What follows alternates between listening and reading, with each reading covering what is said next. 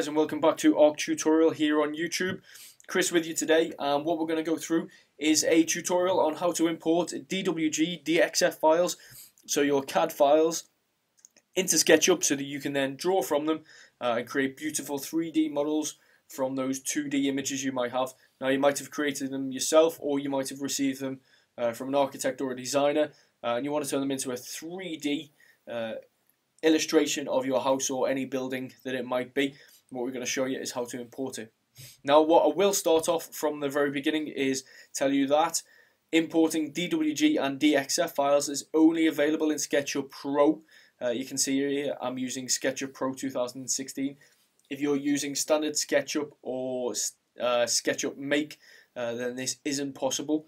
Uh, but what you can do is you will be able to draw your house either just from dimensions um, or there is a free software that you can download, uh, such as DraftSight. I'll put a link in the description, um, and then you can go to that and you can create uh, your PDFs, print PDFs of the DXF DWGs, and then you can import them. Or you can just take dimensions off the DWGs, off the DXF, and then draw them uh, separately in SketchUp. It'll take a bit longer, uh, but if you don't want to fork out and pay for SketchUp Pro, then that is your best option but we'll go through that in a later video. Right, so let's get straight into it. So we've got SketchUp open here on a blank page. Uh, what we're going to do is go up to File and scroll down to Import. Now you'll see here I've already got the uh, DWG file selected. Uh, in the format which is here, often it'll just be in SketchUp file straight away and you wouldn't be able to select it.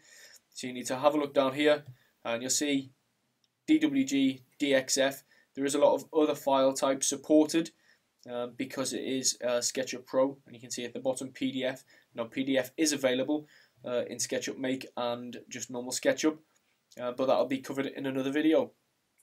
So let's click on DWG DXF. Our file is selected, and let's click Import. Now you need to give it a couple of minutes here, and it's just going to work itself through, work through the AutoCAD file, uh, and there you go. So layers, blocks, arcs uh, different numbers for how many have been imported, um, and you'll see the layers are actually viewable in SketchUp as well.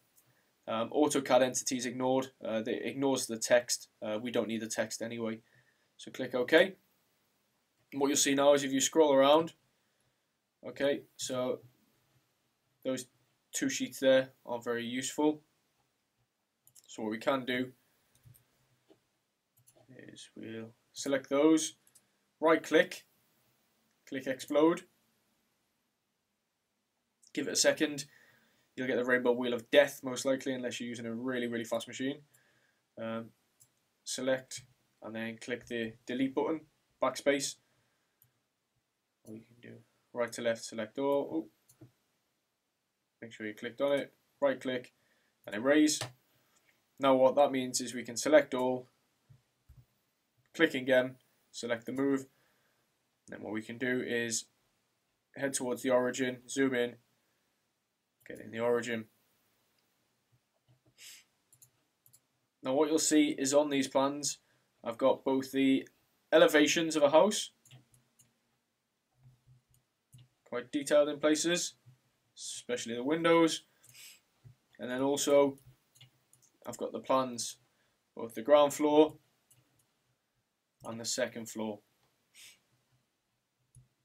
Okay, so that's it if you want to import DWG, DXF.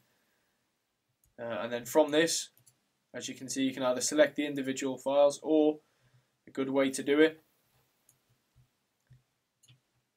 is select all of that, make that a group. And then what this means is that when you come to it, you can select the pen tool, uh, the line tool, either pressing L or selecting it. And then what this means is that you can go around selecting your walls like so for instance just as a quick example. And it creates this blue outline that you can then either by pressing P or the push and pull tool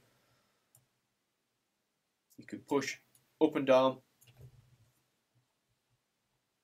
And then you can start to build your house.